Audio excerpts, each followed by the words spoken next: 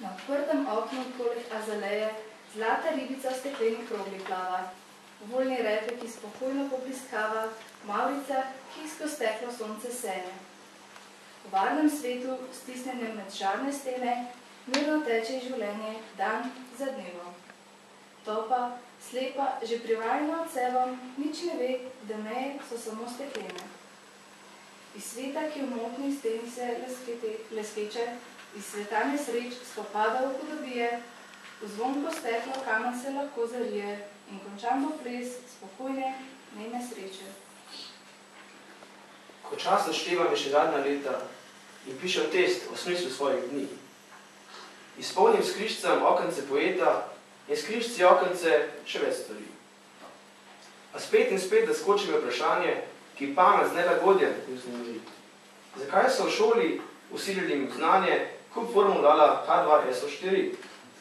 Učil sem se plus, krat, hipotenuzo in kje je kaj, in kdaj je kaj bilo, kak ptiče, rože, kar mi vsaj za muzo je kdaj, čeprav bo redko prav prišlo. Kemija pa z izjemo bedeli. Še tam pa piše, kakor pri kateri. Pozor, če pridete v oči, izmi, ne pa pozor na H2SO4. Bil je nek fant, ki se znanjem muči. Še pri kemiji mu dobro šlo. Plavati se nikdar ni naučil in grob njegov postal je H2O. Prav vse na urniku zapete znam. Vse formule in jezik marsikateri. A plavanje bi mu prišlo bolj prav kot H2O in H2SO4. Ne rečem, važno je vse na okolji in pravi Božji dar so vsi predmeti, a iz modrosti, ki uče jih v šoli, le bistveno rezredno rednoveti. Ko čas je mimo, šaro so počisti in vse moči v zbrani cilj usmeri. V to, kar te veseli, kar ti koristi, lahko pa to je H2SO4. Sneg nenehno naletava, med snežinke tiplje mrak. Veter v okno potrkava, kot premražen siromak. A za manj želi si k meni, skozi šipi orošeni. Peč je hladna, hladna miza. Listi v rokah trepetajo, še iz kota, iz kadiza, španske pesmi drgetajo, kot da zebe kastanjete, ko hitijo skozi zamete. Tam nekje zdaj sonce sije, mladim špankam dekolteje, da jim tango peta bije. A ta pesem ne ogreje, ne srca, ne mrzlih nog, starih, streznjenih otrok. V dve gobe sedi pri knjigah in zaviti in zapeti, tavajo v vsakdanjih brigah, kot po cestah žarometi in gubijo se v snežinkah, v njih neslišnih žalostinkah. Padajte, snežinke bele, padajte kot lahne sanje, kakor sanje umrtvele, kot spomin na dni nekdanje, kot spomin na znan obraz, ki ga je zabrisal čas. Pravijo, da svoje čase je bila kot vsa dekleta, da oči je vlekla nase. Jaz pa vem le, da od leta, ko mi je življenje dala, pa v življenja ni več stala.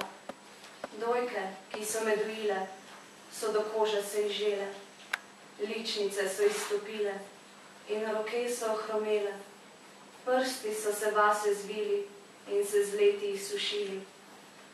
Oče je preklel življenje in v obupu in omami, sam si dokončal trpljenje.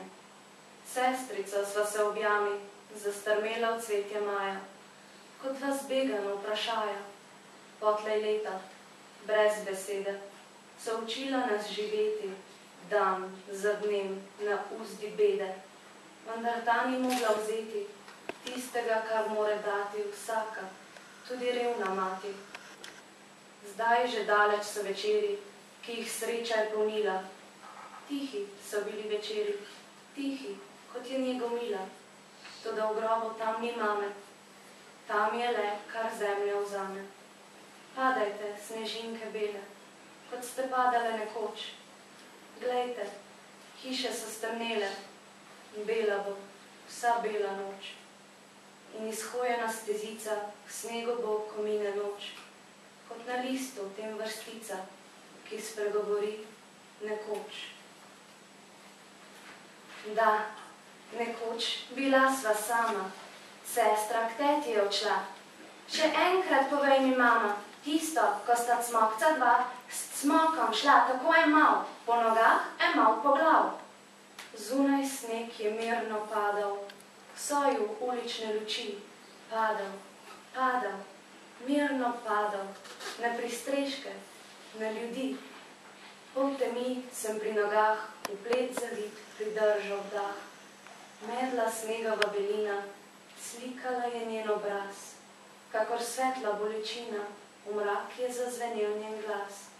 Cmokca, drugič ti povem, veš, še eno lepšo vem.